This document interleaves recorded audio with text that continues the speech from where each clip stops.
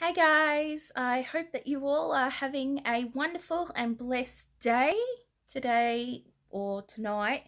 We are going to Aldi's to do some grocery shopping, more like meat shopping, because I have decided to try the carnivore keto carnivore again and due to the comments in my in the couple of my last videos i really appreciate all the feedback and support that you are giving me for my autoimmune disease.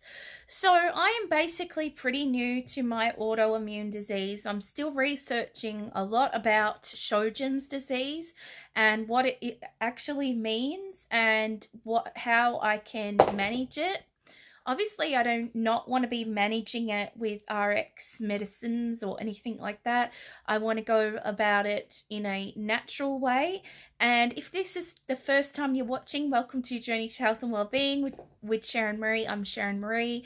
I should have said that at the start. I appreciate you guys watching. So I took into consideration that uh, it's been a while since I've done carnivore and I did feel pretty good doing carnivore before.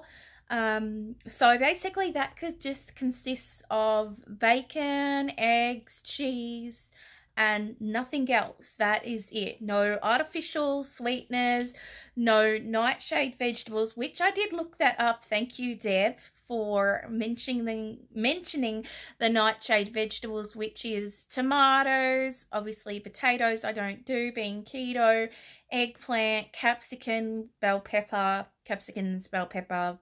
We say capsicum in Australia. I'm so, still sort of saying the old um, terms of, of Australia. So I'm going to stay away from all of those. And I didn't even think that tomato tomatoes was anti-inflammatory so i have to start looking into what is causing like my my anti-inflammatory effects with my hands and my wrists and my arms and my shoulders and my neck pretty much everywhere that i have uh, anti-inflammatory flare-ups, I have to kind of figure out what I'm eating, maybe what I'm eating that's causing that, or is it just a natural effect that it's in my genes and it's in my blood and DNA and I'm dealing with that too.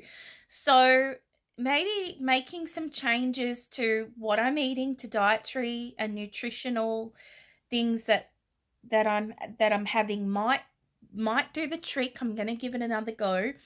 So basically, I think I'm I'm I really believe like heavy whipping cream and uh, cheese and butter and things like that may affect me. So I'm just going to sort of maybe just sort of go very down on them or just not have them at all. I don't know. What do you guys think? So I really need some feedback because like I said, I'm totally new to the whole autoimmune disease and my mom she has had her arthritis her arthritis for over 30 years.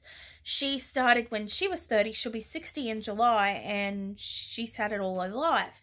But just because you've had it all your life doesn't mean that you know everything about it. So it really helps having a support system like you guys, my subscribers, my close friends, the keto community to help me with this because you, even though you do your own research, it's helpful to talk to others that are going through the same thing, whether it's a different autoimmune disease that they're battling, and what's worked for them may work for you. So sometimes we have to be open minded as to what we're doing, maybe working for us, but if we talk to others that are having effects through autoimmune diseases or other kinds of diseases, if they talk to us and say, well, this has worked for me and these are the macros that I'm doing, and I think that maybe you should change something up, don't just like not hear them.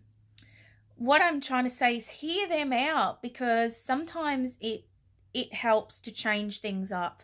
Sometimes it helps to hear those things uh, from other from other people because sometimes your mind is so foggy that you can't think straight or straight for yourself.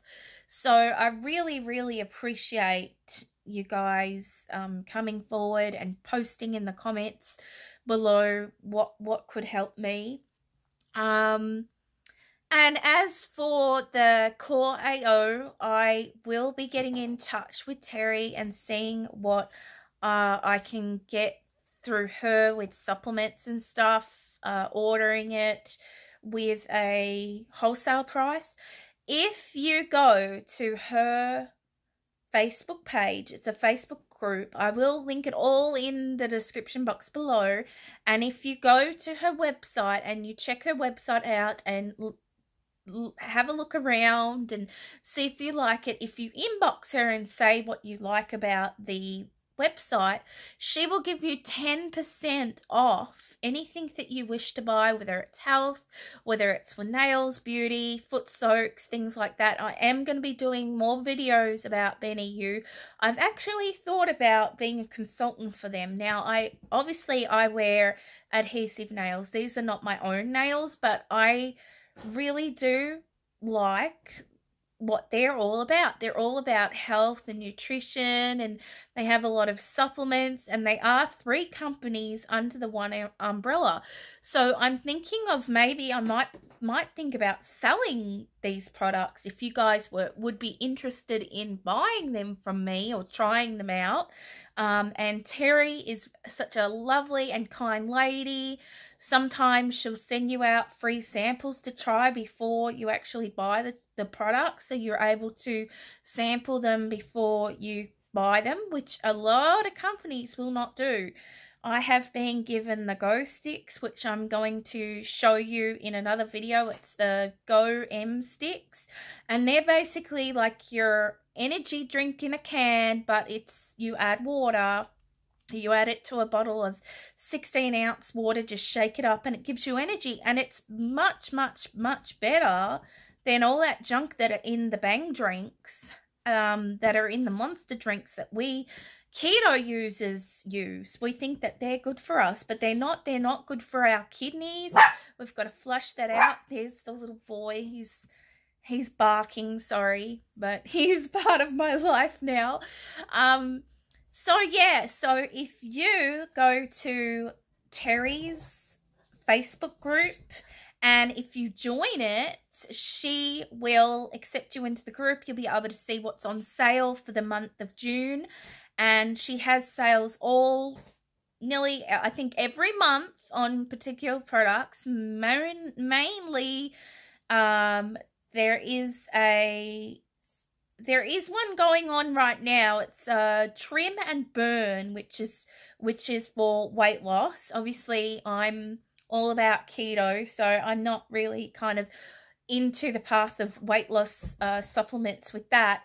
But there are certain um, things that are on sale each month. There's also a subscription box, I believe, that comes out every month. You, it's mainly nail lacquers. And I believe they're actually been giving a free product every month. So if you're interested, click in the link below and let me know if you have purchased uh, BeneYou Better, which means better you. Bene is from France, which means better, and then you, better you. So, you know, I am really happy to support companies like that because um, I've known Terri for a while and I know that she suffers with uh, autoimmune disease and arthritis too, and it's just really helped me to talk to her. And taking the O for a week has helped. But um, I probably most likely will order it at the end of the month. That's when I get paid. So at the end of the month, I'll be ordering it again. And hopefully I will get the 10% off. So it should be around 30 $35, which makes it a roughly about a dollar a day. So how how many of you can say that you can get something that's going to help you with your autoimmune disease, it's going to help you with your arthritis for a dollar a day. Like you just you can't get anything like that for a dollar a day. So that's a really, really good, good deal. So if you're into those uh, drinks, the CoreAO sticks, if you're interested, please let me know and I can add you. I can even add you to the group. Um, but yeah, so she actually lives in North Carolina, same as I do, but I have never met her before in person, but I have spoken to her on um, Facebook, and she's a very lovely lady. So I'm sure she'll be able to help you out with whatever that you want to order. I have been thinking actually of starting to be a consultant where I can work from home. I like I like jewelry, so I have looked into this is origami owl. It's got little owls on it, and these are my own earrings, but I did add a little owl charm to it. I had thought about origami owl. Um, there was another company. I think it were it was my thirty one. They were one dollar to be a consultant to start your own consultancy. So I've been thinking about doing that. I really have. I'd love to work from home, and when my mum comes over that means that I don't have to leave my full time job or my part time job. I don't have to leave the house. I can be working from home.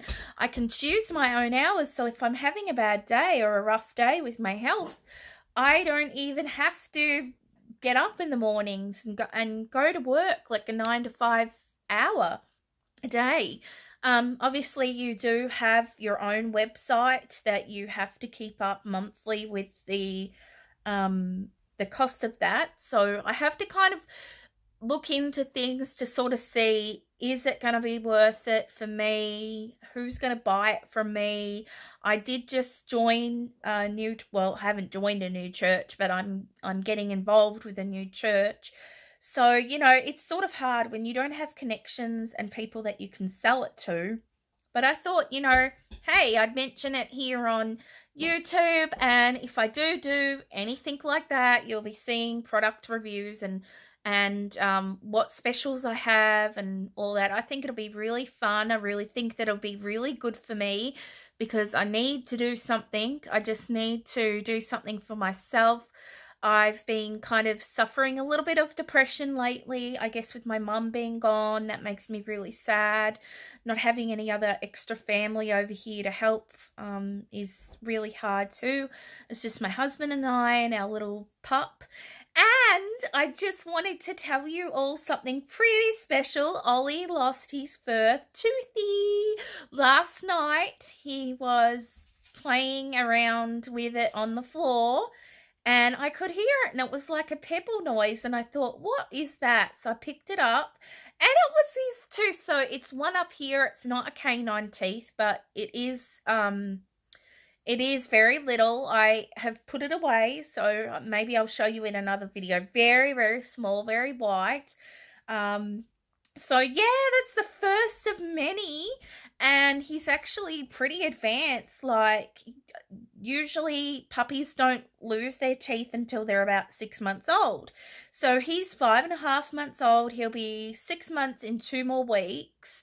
And um, I'm so happy that I was able to keep it because I have one of Charlie's, one of Charlie's very last baby teeth. We never went through the whole puppyhood with Charlie because he was six months when he came to us. So he had gone through all of that, all of the potty training and everything, which he never got. Um, but we still loved him. And so yeah, that was a big thing for our little baby boy to lose a tooth. And I told his nana it didn't happen when she was here, obviously, but um if he does lose more and I can get to keep them, then I'll put one away for her and I was thinking of like doing a little baby book, a little baby book with photos that we've taken of him and we can never take enough enough photos and he's getting a haircut. He's getting his very first haircut on the 19th, which is next week, next Wednesday. But before he gets a haircut, his daddy has to go to the dentist, so hopefully everything at the dentist goes fine. Um so mummy will be home with Ollie uh, on Monday all by myself, which I have been before, and he's just he's just fine. He grizzles for his daddy a little bit, but yeah, he's chewing on these rawhide bones, so I think that's what kind of has loosened it. And the other night he was a little bit sick, um, and that that's how they can get. They can be just like babies and feel sick. Now, if you're a puppy owner or if you didn't know this, Orajel is not good to give to them, not good to put on their teeth because that has anesthetic in it and it can make them very sick and it can be very toxic for puppies. So actually I was looking into a more natural thing. It's called clove oil that you can put on their gums that will make them not feel as sore. So I'm going to look into seeing where I can buy that, probably Amazon, something like that. But yeah, today I'm feeling pretty good. I was in bed for a while today, but when I got up and I took sort of, I've been taking um prescription Naprosyns. Yes, you want to come up here, don't you? Um, uh, prescription Naprosyns that mum bought over from Australia. I've took them, and today just sort of just been eating um taco meat I made last night with Parker Pastures meat that I won in a giveaway and silly me put the rotel in which is tomatoes and the little chilies um, and it was so spicy. Um, now my stomach's upset and acid reflux and things. But I ate that last night and I ate it today. And Randy's sort of been eating what I'm making. So hopefully I'm trying to get him to eat keto too because it's going to be really good for him to get back to keto. Um, because he's having a lot he's got low iron now and he has to have vitamin C, which it uh, helps absorb the iron better. So doing the carnivore diet is going to be really good. The carnivore keto um, is going to be really good for the both of us. So tonight we're going Aldi's. It closes at 8. We're going to leave here soon. It's roughly about 6. Want to get some steaks. Want to get some ground beef. Want to get some uh, anything red. I guess it's anything red. I don't think it's sort of anything white like chicken or pork chops. Uh, probably have to. I think I've got bacon, but probably not enough, so I might get some more bacon. Uh, I think hamburgers and things like that. Anything red, any red kind of meat. Let me know if you've done the carnivore keto uh, diet before. How long have you done it for? What has it helped with? Uh, have you tested ketones? Does it put you into a high state of ketosis? I did it a long, long time ago, so it's like I need to re educate myself. And I thought I might also include intermittent fasting as well because I haven't intermittent fasted for a long time. I kind of do fast from like we eat really early. So four o'clock is my last meal. Four or five o'clock at night is my last meal. And then 12 the next day is my first meal. So I guess that's that's doing some kind of fasting um, and fasting can be really healing for people with inflammatory diseases as well and i'm trying to keep up with my water but i'm still just not very good at that, even though this is like my third year into keto. I've never mastered all that water, and especially with going out, it's really hard because I manage to want to use the bathroom when I when I'm out, and I can't. I just oh, I don't know. I just hate using public toilets. So I'm hoping that um that yeah, the carnivore will help me and I'm hoping that I can figure out some ways of doing recipes that will be good for Randy and I to eat. And hopefully, like I'm, I'm still obviously, I've got to lose about 45 to 50 pounds more. I'm focusing, I think I'm more focusing not so much on the weight loss as much as I am the the healing part with keto now. I think I'm really got to be, I've got to be strict, stricter with myself um, because I'm noticing that, yeah, I'm just not feeling great. I'll be 37 this year, so getting up there in age. Uh, I know I'm still young, but um, oh, I just I don't want to be in the same position that my mum my mum has been in. So I've got to do something about it. I was thinking of seeing my doctor, but if I can kind of get work my way around this with the diet and getting the chronic fatigue under under control, which I am. I feel that I am. Today's probably the first day that I haven't felt like complete crap. Um, but yeah, and I haven't like I've only actually had one coffee today, other than four coffees. So anyway, I better get moving. Thank you so much for watching and listening and having a chat with me and I'll see you all very soon. Take care. Don't forget to like, share and subscribe. I appreciate your support. Bye for now.